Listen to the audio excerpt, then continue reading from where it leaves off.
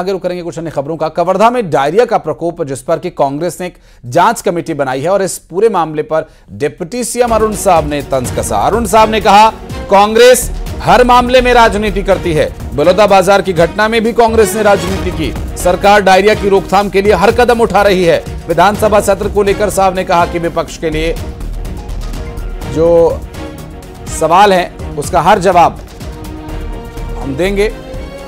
और सवाल का जवाब देने के लिए सरकार तैयार है।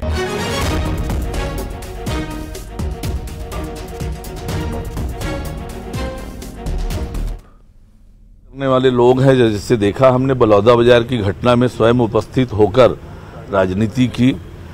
अब,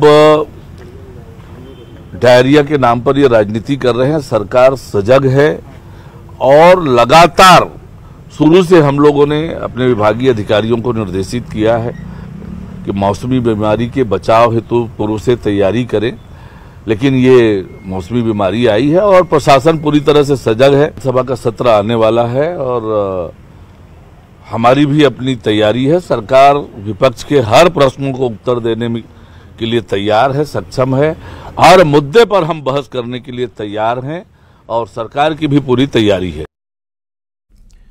और महाराष्ट्र के सीएम एकनाथ शिंदे ने न्यूज़ 18 की मुहिम प्रोजेक्ट वन ट्री की सराहना की। उन्होंने कहा कि ये पहला पर्यावरण के लिए ये पहल बहुत फ़ायदेमंद साबित होगी।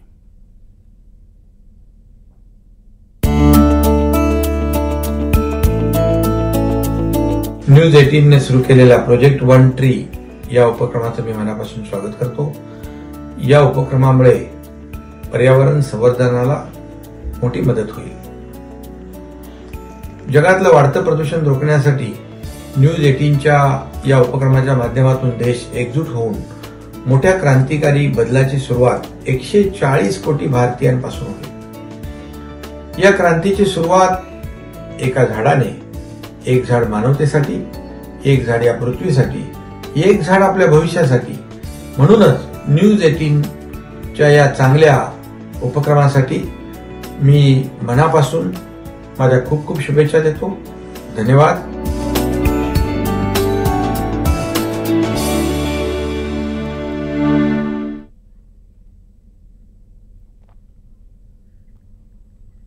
और आपको बता दें कि ये जो अपील की गई है, वो अपील दरअसल पर्यावरण संरक्षण के लिए, न्यूज़ एटीन के द्वारा उठाए जा रहे कदम की सराहना है और लोगों को प्रेरित करने के लिए है कि वे भी आगे आएँ और इस अभियान से जुड़े। बढ़ते आगे और बीजापुर ज़िले में दो दिन में दो स्कूली छात्राओं की मलेरिया से दुखद मौत हो गई। आपको बता दें कि संगमपल्ली में कोटा केबिन की छात्रा को बेहोशी की हालत में बीजापुर के अस्पताल में भर्ती करवाया गया था।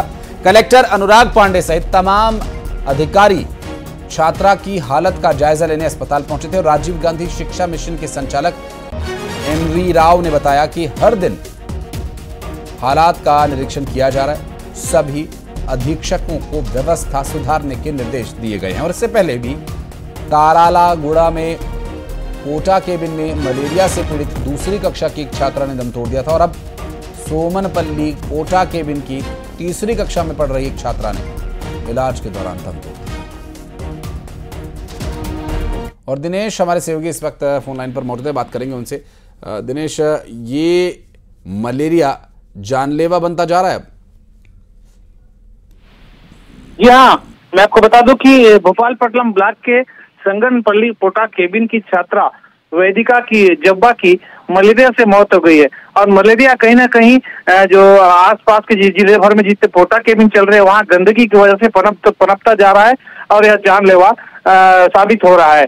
तमाम दावों के बीच भोपालपट्टनम ब्लॉक अंतर्गत तीस घंटे में, तीस घंटे में मलेरिया से यह दूसरी मौत है। घटना घटना ने व्यवस्था की पोल भी खोल दी है सूत्रों की माने तो मलेरिया से पीड़ित वेदिका को शनिवार को बेहोशी की हालात में बीजापुर जिला अस्पताल में भर्ती कराया गया था, जहाँ इसका इलाज चल रहा था। इलाज के दौरान छात्रा ने दम तोड़ दिया।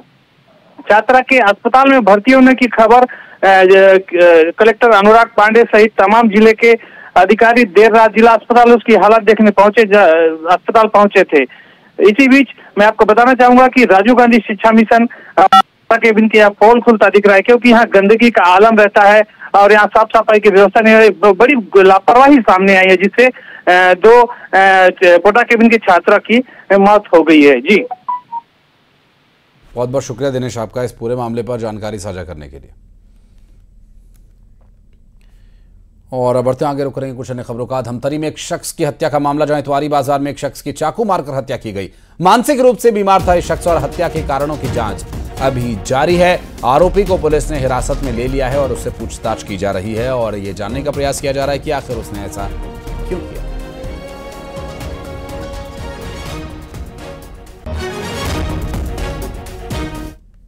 और यहाँ रुक रहे एक छोटे से ब्रेक के लिए खबरों का सिलसिला आगे भी जारी है। बने रहिए हमारे साथ। स्कूली शिक्षा विभाग।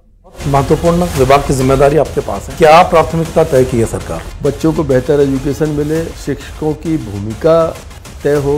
कांग्रेस, शिक्षा माफिया, शिक्षकों की कमी इंफ्रास्ट्रक्चर इसको लेकर नाराज़गी जताती है। अब मुझे लगता है कांग्रेस के पास ज़्यादा विषय बचे नहीं। लगातार मध्य प्रदेश में पराजय बीच में बैसाखियों पर वापस आ भी गए थे तो अपनी कार्यशैली के कारण बाहर भी हो गए। एक बयान राहुल गांधी को लेकर आपने दिया था। माइक खराब हो गया तो कहा कि आपको गर्ववीर राहुल गांधी जैसा लगो। राहुल जी के साथ हम लंबे समय से देख रहे हैं।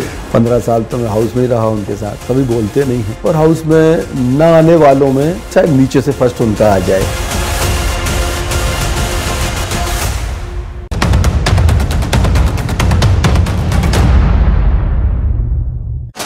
का हुई राख दंतेवाड़ा में अवैध शराब